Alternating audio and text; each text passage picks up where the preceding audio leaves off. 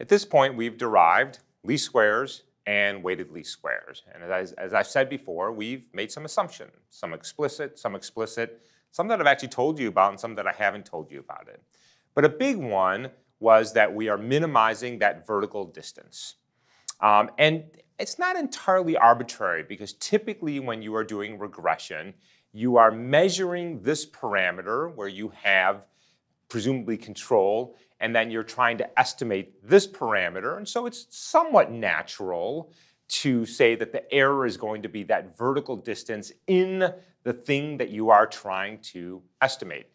But it was a choice, and it's an arbitrary, somewhat arbitrary choice, and there are other choices.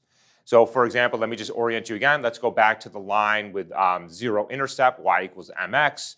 Um, I have a point x naught, y naught. I'm going to compute the distance to be mx naught minus y naught. Obviously, I'm going to take the square of that later on. So it's obviously, to, it's a reasonable question to ask is why vertical distance? Well, there's some good reason as I just enumerated. But it's also a good question to ask is, can we do something else? So could I, for example, have minimized the horizontal distance? I mean, that's also a pretty good measure of fit. And what would I have done here? I would have said, well, I'm going to assume that there's some error in this dimension and not in the vertical dimension. Is that good? Is it bad? Is it right? Is it wrong? I don't know. It depends on the data. It's certainly a perfectly reasonable thing to do. And we could have done it by just swapping the xy coordinates and then running least squares or weighted least squares. So if we just take the x's and the y's and swap them, you're still fitting a line.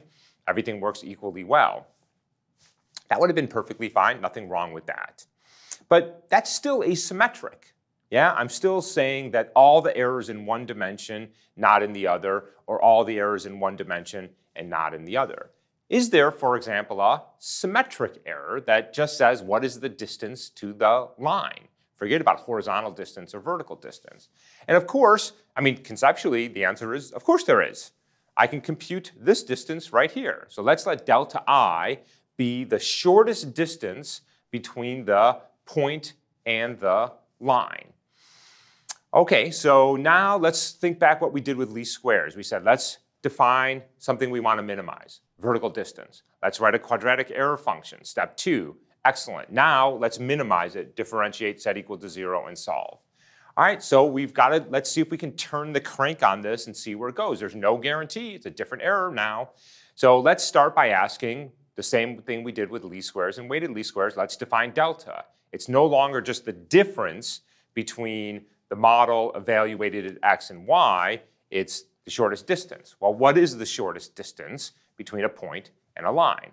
Well, let me start by reparameterizing the line slightly differently. I'm going to move away from the y equals mx slope-intercept model and use this formulation that a line can be parameterized as ax plus by, where ab is the vector that is normal to the line. Okay, and for now, we're going to stick with lines going through the origin, just a single parameter. So, by the way, why is this true? Why is it that the vector AB um, is perpendicular to the line parameterized by ax plus by equals 0? So think about this vector right here, um, AB, that I've, I've drawn, and then think about any point along that line and the vector that's corresponding to that coming out of the origin. Yeah? So now I've got two vectors. One, the AB vector, and the other, a vector pointing along a point on the line. And if I have two vectors that are perpendicular to each other, what do I know about them? That their dot product, or their inner product, is zero. What am I writing right here? ax plus by is the dot product. a times the x coordinate, b plus b times the y coordinate is the dot product between the vector associated with the point on the line, assuming it's unit length, of course, and uh, that vector right there is perpendicular. And if it's equal to zero, well, then in fact, that point is perpendicular to AB. So that's just a little back of the envelope um, intuition as to why AX plus BY corresponds to a line where the vector AB is perpendicular to the line. And the reason I've done this, of course, is that it's going to make it easier to define that little delta right there. All right, so now we have our new parameterization of the line, and let's now move forward with defining delta. I'm not going to derive this, but if you want to take the exercise, it's actually a lovely exercise to estimate the shortest distance between a point and a line, and it is equal to, if the point is x naught, y naught, and the line is parameterized by ab, the shortest distance to the line is ax naught plus by naught, absolute value, because we're computing distance, divided by uh, the magnitude of uh, the vector ab. So it's the square root of a squared plus b squared. I'm not going to derive it, but it's a, it's, a, it's a pretty simple derivation if you're inclined to do it. Okay, geez, um, I want to minimize the sum of all of those. That looks pretty messy to me. Why?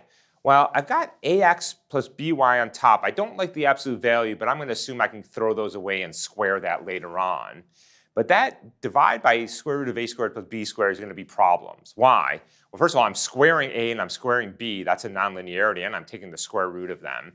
So that's going to cause me problems. But I don't actually need that denominator. I can assume that the square root of a squared plus b squared is equal to 1 because I don't care what the scale of that vector is. Remember that I said that that vector is perpendicular to the line. The magnitude of that vector how long it is is irrelevant to me. Make AB twice as long, it corresponds to exactly the same line, so I don't care. So if we assume that the square root of a squared plus b squared is equal to 1 in our parameterization of the line, well then our distance is now ax naught plus by naught, which of course is just the dot product between the two points, by the way. Now I still have a problem with that, um, that absolute value because I, that's a nonlinearity and I can't differentiate through absolute value. Um, ah, let me rewrite this in terms of the dot products. I just briefly mentioned that what I'm seeing here is a dot product. So if I have x naught, y naught here, and ab here, this is just the dot product between the two. And you'll see in a minute why I've done it this way. I'm going to swap out that absolute value, because it's going to be trouble when we go to differentiate, with a square. So now what I'm minimizing is not, in fact, the, dis the vertical, uh, the shortest distance, but the square of the shortest distance. And that was actually true with least squares and weighted least squares. I wasn't actually minimizing the vertical distance, I was uh, minimizing the square of the vertical distance. And I've done that, of course, because I know later on I'm eventually going to have to differentiate, and I can't differentiate through an absolute value because of the nonlinearity. Okay, so now things are sort of looking up for us. Um, first of all, we now have the perpendicular distance written out in something that looks reasonably quadratic and seems to be linear in the unknowns. There's my unknown AB, and it's simply being multiplied through a dot product through a bunch of points. And so I feel pretty good about this, so let's see where this takes us next. So what do we have to do next now? So now we have our uh, objective of what we want to minimize. We have that delta, and now what we have to do is write out that quadratic error function, step two, and then we have to try to minimize that step three, and then of course we're going to implement it step four. And we'll do all that when we come back.